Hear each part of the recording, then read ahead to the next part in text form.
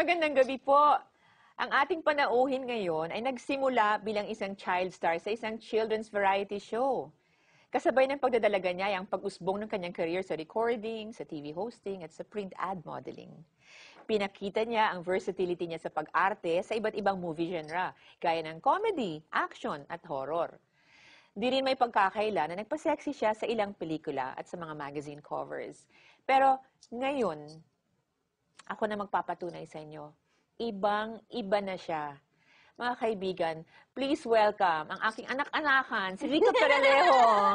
Hi, Rica. Tita! So nice to be here. I know you're so busy. You've got a soap, and then you've got a daily Morning show, show. morning show, and then I have school. may bago ka pang role ngayon, estudyante ka na. Yes, ayan ang aking ah, joy nowadays. Oh, you didn't you didn't take formal schooling sa high school. Hindi po, um, for, for, after the grade school, Oo. grade 6 yun, um, I had to stop because nagkaroon ako ng pneumonia twice. Okay. And then after that, parang my parents told me, ah, they asked me, ano bang pipiliin mo? Kasi nagsasuffer yung isa. Uh-huh. Sabi ko, syempre parang, oh, show business. Kasi natutuwa pa ako eh. Oo. So, pinili ko yon And then for four years, parang chinatsaga ko siya ng home study. Home you bring study. you bring home modules until I lost interest na nawala siya completely. Because Rica's 26 and she's back in school. Actually, pareho nga niyang first year college yung aking bunso. Schoolmate, fun. yes. Freshies. Freshies Di, kami ni imagine, Vico. imagine nakapag, ano ka, nakapag uh, enroll ka in spite of Yes. your your hectic My schedule. schedule and um, I at first I was thinking ah ano kayang masasagot ko sa test yun yung nasa head ko. Of course, I did naman my reviews, I did the Oo. pep test, kinumpleto ko lahat ng requirements. But, four years is still different. Of course, for normal kids. And ako, kung i-compare mo, what do I know? Hindi ko nadaanan yung normal na high school. Wala akong prom, yung gano'n. so, hindi ko talaga alam na papasa ako. So now, nawala ka na dun sa dating ginagawa mo na, dati wholesome ka, tapos biglang naging pa-sexy. Right. So, ano nag-udyok sa'yo na mag-iba na ng landas? To take a different path already towards in, in showbiz? Well, first, I started as wholesome naman talaga. And then, I stumbled upon the sexy. And that gave me a lot of glory. Yung talagang, parang everywhere ako magpunta, kilala nila ako. Mm-hmm. Tsaka, people look at me, yung, they, dis, eh, men Parang, desire "Uy, Rico me." Ganun, Perlejo, oo, sexy, syempre, sexy. talagang, feeling ko, ay, ang ganda ko. Actually, hindi Ganon. nila naiintindihan ng ibang tao kung anong totoong ibig sabihin Yes. ng sexy. Lahat tayo, nung hindi pa natin kilala si Lord, gusto natin matawag tayong, right. sexy mo. But actually, if you look in the dictionary, the meaning of sexy is arousing sexual interest. Mhm. So, do you really want to be sexy na parang Yes. ang mga imahinasyon, imahinasyon ng mga lalaki kung ano-anong umaandar, di ba? Ayaw naman natin. At ganun. first kasi, I was, uh, when, when you told me that, tita, si tita kasi nagsabi talaga sa akin nun, parang feeling ko pa rin, okay pa rin na tawagin akong sexy. Hindi naman ako ganun inside. But uh, when I, I found out about the meaning, and of course, by reading the Bible, magre-reveal talaga siya sa'yo na hindi mo, you can't deny eh, na ikaw yung sinasabi ni Lord eh, na ginawa mo yun, nagawa mo yun. So, um, the only way is to change and to ask help from Him. Talaga na, hindi ko po talaga kaya to eh. Yung mga ganitong bagay, masyadong malaki for me.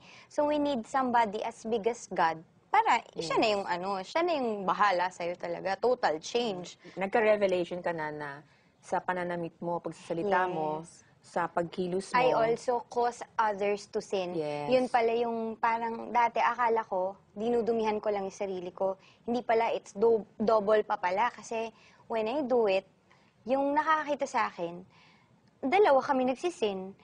Dinudumisan ko na nga yung sarili ko. Pati yung utak niya, binibigyan ko pa ng iba-ibang thoughts na hindi ko alam. Meron kang, parang for you, I think you, you mentioned to me na yung first miracle mo, naalala ko nung nag-pray tayo, tungkol sa bench contract mo. Would you like to tell us about that? When I when I signed up with Bench, it was for bench body and bench apparel. So yung bench body is pang ano yun eh, underwear nila. Of course, that's my image, yung sexy. And I don't think naman kukunin nila ako at that time kung hindi yun ang aking Correct. image. So parang, for me, that was a hold na, naku, mawawalan ako ng trabaho kung, kung tatanggihan ko tong image na to. But of course, reading nga, reading, and of course, constantly praying and hearing from God, ma, na ano ko na, hindi talaga eh. hindi, kahit Hindi na anong pabalik-baliktad ko, no compromises. Hindi rin pwedeng ganun, yung sa gitna lang. Kailangan yes or no. So, sabi ko, no talaga.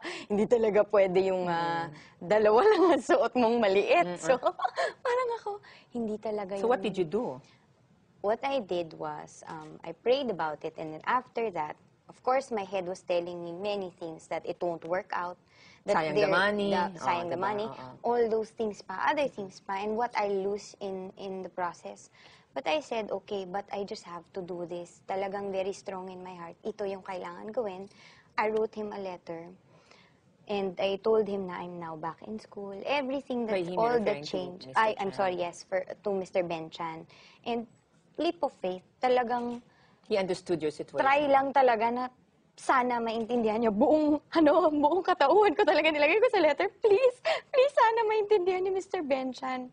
Pero hindi ako talaga na, na parang kung hindi man niya ibigay yun sa akin, parang sa akin, maintindihan ko. Mali ko yun eh. Oo. Kumbaga sa contract, ako Nakasign talaga ka ang na eh. Oo. nagkamali. You also wanted to honor your Oo. contract, pero hindi ka lang komportable. Parang sa legalities, ako talaga yung... And ang ganda na nangyari, di ba? Kasi sobrang understanding naman si Mr. Benchan sa'yo. Sabi niya, um, ah, Riggs, okay, mamili ka.